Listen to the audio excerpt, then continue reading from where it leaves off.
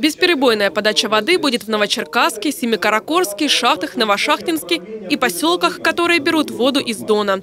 Ведь только с 1966 года уровень реки упал почти на 2 метра. Плотина сама будет подниматься, самый верхний беф, на 2,8 метра. Поэтому сегодня говорить о затоплении, там, о каком-то массовом, как остальное лишнее будет, оно же будет перепускаться, как, допустим, в Цемлянском водохранилище. Ну, Жители Багаевского района беспокоятся, что их дома будут подтапливаться. Но съезжать семья Натальи Евсюковой не собирается. Ее бабушка – коренная жительница хутора Арпачин. Войну похоронила здесь отца и сестер, а в 70-х построила дом, в котором живут четыре поколения.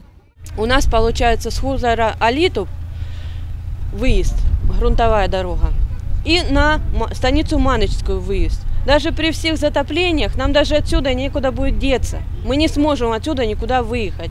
По дамбе, но дамба не всегда в хорошем состоянии. Затапливаются только низкие пойманные участки в прибрежной зоне, регулярно затапливаем паводками. Специалисты из Азовского научно-исследовательского института рыбного хозяйства боятся, что гидроузел сократит и без того исчезающий естественный нерест рыбы. Если э, мы продолжим использование и эксплуатацию реки Дон в таком же направлении дальше, то есть будем развивать гидростроительство, то мы окончательно утратим реку Дон как промысловую. То есть э, говорить о лове здесь не только в промышленных масштабах, но уже и в спортивно-любительской говорить не придется. Проект Багаевского гидроузла как раз и направлен на то, чтобы Дон без воды не оставить и воду в Цемлянском водохранилище сохранить.